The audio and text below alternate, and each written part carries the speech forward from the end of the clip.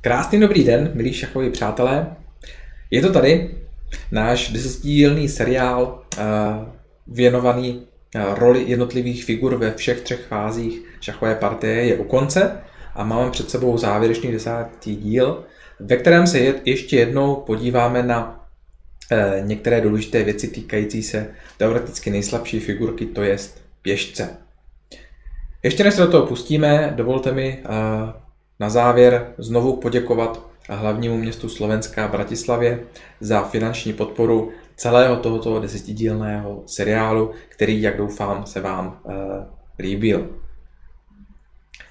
V minulém díle jsme si pověděli o tom, jakou roli e, hraje pěšec v jednotlivých fázích šachové partie a říkal jsem, že v tomto díle se ještě trochu podíváme na e, to, jak právě zacházet s pěšci a na to si dávat pozor. Určitě je třeba dávat si pozor na to, abychom si nevytvářeli pěšcové slabiny. Pěšci jsou totiž nej, nejsilnější v takové pozici, když stojí třeba vedle sebe, protože kryjí hodně políček před sebou, když eh, vytvoří pěšcový řetězec, to znamená, když jeden pěšec kryje druhého. Naopak je velmi důležité nevytvářet si eh, například opožděné pěšce. Opožděný pěšec vypadá tak, že eh, Například ve skotské hře, pokud černý ještě vymění na D4 jezdce, tak to není moc dobré, protože Teteráma na D4 stojí aktivně a silně, jelikož nemůže být napadena žádnou černou figurkou. Pokud by černého C napadlo C5, tak to vůbec dobrý nápad není právě proto, že po dáma D3, řekněme D6, jezdec C3, na šachovnici vzniknul takovýto uh, opožděný pěšec na D6. Což je pěšec, který je slabý, na kterého většinou potom soupeřové figurky útočí. A důležité je zmínit to, že eh, slabinou takové pozice není jenom ten opožděný pěšec sám, ale významnou slabinou je právě i to pole před ním, to znamená v tomto případě D5, které vytváří nádherný opěrný bod pro jezdce. Opěrný bod rovná se takové pole, které právě už nemůže být napadeno žádným pěšcem soupeře, Právě to je často úplně největší nevýhoda toho opožděného pěšce. Proto je skutečně velmi důležité eh, dbát na to, abychom si takovéto pěšcové slabiny nevytvářeli zbytečně. Na druhou stranu někdy eh, se takovéto pěšcové slabiny vytváří, řekněme, cíleně. Můžeme si tady ukázat například eh, hlavní variantu Svěšníkova v Sicilské, což je varianta, která vzniká po uh, tahu E5 v této pozici. Hlavní varianta pokračuje těmito tahy. A tady právě vzniká situace, kdy je jasné, že černý má opožděného pěšce na D6, bílý dokonce už v tuto chvíli zaujal ten opěrný bod D5, přesto je to varianta, kterou černý hraje zcela cíleně. Je si totiž vědom toho, že ten opožděný pěšec v této konkrétní pozici nemůže být zas tak dobře napadaný bílými figurkami.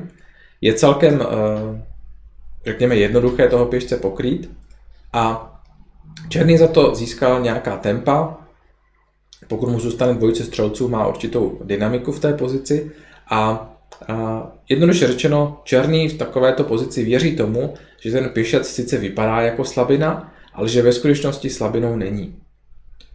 Ale to jsou opravdu spíše takové specifické případy, specifické varianty. Jinak je skutečně velmi důležité dávat si pozor na to, jak jsem říkal, abychom si takovéto pěšcové slabiny nevytvářeli. Další důležitou věcí je dvojpěšec. Dvojpěšec eh, obecně rozhodně není slabina, ale znovu velmi záleží, co to je za dvojpěšce jestli je to dvojpěšec, který je podporovaný případně dalšími pěšáky, nebo je to izolovaný dvojpěšec. Je to opravdu hodně různé, ale opět v zásadě můžeme říci, že eh, je potřeba velmi dbát na to, jestli dvojpěšec, který případně nám může na šachovnici vzniknout, bude v pořádku, anebo to bude naopak slabý dvojpěšec. Rovněž právě i dvojpěšec často, když se trošku vrátíme k tomu předchozímu dílu, vymezuje plány hry jednotlivých stran. To ukazuje pěkně eh, například výměná varianta španělské, kde právě vzniká dvojpěšec. Bílý za cenu střelce, za cenu toho, že černému dal dvojici střelců, trošku oslabil pěšcovou strukturu černého. A tady ten dvojpěšec sám o sobě není slabý, není to slabina, ale díky němu má bílý velmi jednoduchý, byť eh, na provedení složitý plán hry, a to je všechno vyměnit a přejít do pěšcové koncovky. Protože právě v té pěšcové koncovce je jasné, že bílý by si, řekněme, bez, bez problému vytvořil volného pěšce na královském křídle, kde má převahu 4 na 3, kdežto černý právě kvůli tomu dvojpěšci eh, by nic podobného na druhé straně neudělal. V tom je právě dost limitující ten dvojpěšec a v tomto právě může být třeba ten dvojpěšec slabinou.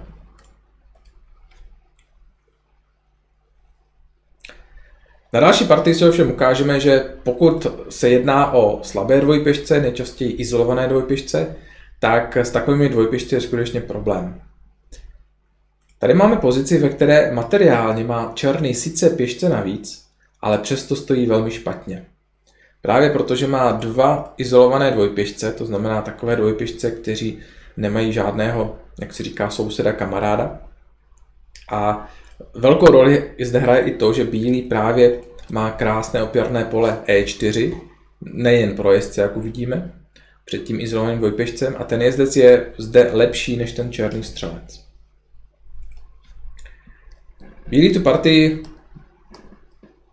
nechci říct poměrně jednoduše, Eh, vyhrál, ale ve své podstatě ano, protože jeho figurky skutečně jsou lepší a ten rozdíl v pěšcové struktuře je velký. Černý navíc eh, této pozici, aby nestratil věž tahem B3, eh, zahrál ještě věž A4 a vlastně ještě více zhoršil tu pěšcovou strukturu.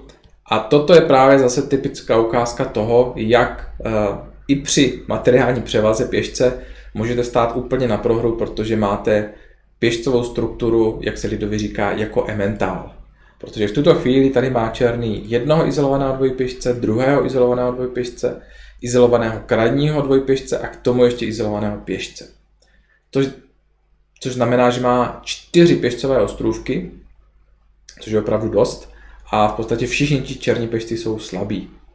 Eh, je zcela nereálné, aby černý z jakéhokoliv z těch pěšců vytvořil volného pěšce a bílý tady velmi jednoduše pozbírá ty pěšce na dámském křídle, zatímco černý, zase vidíme, že tady z té převahy 4 proti 3 neudělá vůbec nic, protože šance vytvořit volného pěšce je nulová, eh, černý černopolný střelec nemá šanci napadat bílé pěšce na bílých polích, bílý opravdu velice snadno vyhraje postupem běžců na tom dámském křídle. Nejde s tím vůbec nic udělat.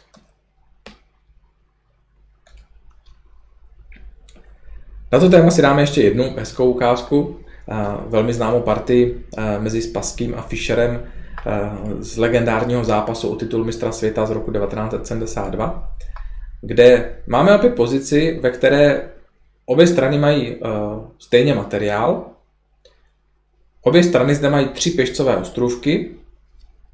Bílý zde má jeden, druhý pěšcový ostrůvek a třetí pěšcový ostrůvek. Pěšcový ostrůvek to je vlastně takové uh, spojení pěšců, nebo může to být i pěšec, právě který je nějakým způsobem spojený, ale už oddělený od eh, dalšího ostrůvku. A, čili vidíme, že bílý má tři a černý má také tři pěšcové ostrůvky. Často se právě říká, že kdo má více pěšcových ostrůvků ve své pěšcové struktuře, tak stojí hůř, protože čím víc ostrůvků, tím více slabin. Ale zde, přestože je to vlastně v rovnováze, i materiál v rovnováze, černý stojí jasně lépe. Je to z toho důvodu, že eh, bílí pěšci jsou zde mnohem slabší. Velkou slabinou je pěšce na A4, kterého krásně napadá střelec D7. Velkou slabinou je právě dvojpěšec C3, C4, protože je to dvojpěšec, který je takzvaně zafixovaný černým pěšcem a nemá vůbec šanci se posunout někam dopředu. Tím pádem se ho bílý ani nemůže nijak zbavit. A vlastně ten pěšec na E4 je trošku slabina. Mohlo by se zdát, že bílý tady má naopak silného volného pěšce na D5, což je svým způsobem pravda, ale na druhou stranu ten volný pěšec vlastně vůbec silný není. V tuto chvíli je sice krytý, dokonce dvěma dalšími pěšci a dámou, ale jednak je bezpečně blokovaný na poli D7 proti svému dalšímu postupu. A jakmile bílý zahraje D6, tak poté už ten pěšec zdaleka tak silný nebude, už jen proto, že mu najednou bude chybět krytí od těch dalších pěšáků. No, černý v té pozici pojezec H5 vyměnil všechny věžky, po střele z D1 zahrál jednoduše jezdec F4 a bílý, i kdyby tady zahrál lepší tah, než to, co se stalo v partii, tak opravdu stojí jasně hůř. Černému skutečně vůbec nevadí tento izolovaný pěšec, protože bílý nemá jak napadat, ani tento dvojpěšec. Ten je naopak vlastně mnohem lepší než dvojpěšec bílého, protože zatímco bílý dvojpěšec, jak jsem říkal, nemůže nic udělat na šachovnici, tak černý dvojpěšec klidně může jít směrem dopředu, podporuje ho ještě ten H pěšec a další černé figurky. Takže to je právě ten důležitý rozdíl v tom, že uh, skutečně zdaleka ne každý dvojpěšec je špatný a slabý. Dvojpěšec může být i velice silný, opravdu hodně záleží na konkrétní situaci. Uh, dokonce i izolovaný dvojpěšec může být silný, obzvláště třeba v centru, protože kryje hodně důležitých políček. Takže rozhodně si nemyslete, že dvojpěšec rovná, se slabina vaší pozice. To tak opravdu není. Bílý se každopádně v této pozici dopustil hrubé chyby tahem dáma C2, přišla velmi pěkná kombinace střela bere A4, po které se Bílý okamžitě vzdal, právě to políčko C2 bylo velmi nešikovné pro ústup dámy, protože po dáma bere A4, dáma bere E4, Bílému visí jak střelec na E1, tak na eh, G2 pěšec, zároveň s matem. Po král F2 přichází jednoduše vidličky, tahem je zde z D3 a je jasné, že černý vítězí, minimálně proto, že bude mít velkou materiální převahu, ale spíše i proto, že dá tomu bílému králi v několika tazích mat.